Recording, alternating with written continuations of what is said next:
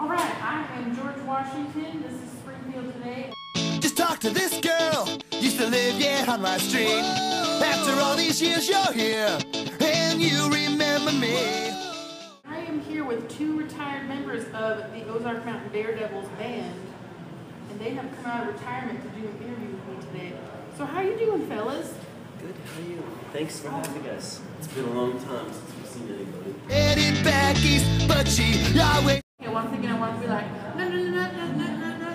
no, no, Today. Oh, really? Real hard rock like that? I mean, uh, is the devil in it this year? Yeah, well, we're lovers. Oh, you and the devil? Yeah. That sounds fiery. Day. He would go. Now, what, how do you both feel about these urban legends popping up about men that work for you in the corn maze wearing the scary masks and dragging people off, never to be heard from again? Oh, that's okay. Yeah. You think that's good for business? We encourage that, yeah. Wondering if you would sing your most famous song with me, Jackie Blue. It's been a long time. Do you want to do it? In words? What was that most famous song again?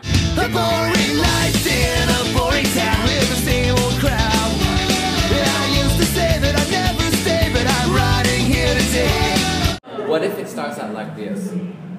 We got Monday. And you said we got Tuesday. Oh, we got Tuesday, And we got Wednesday through Friday. Springfield today. Yeah, that's kind of a nice one.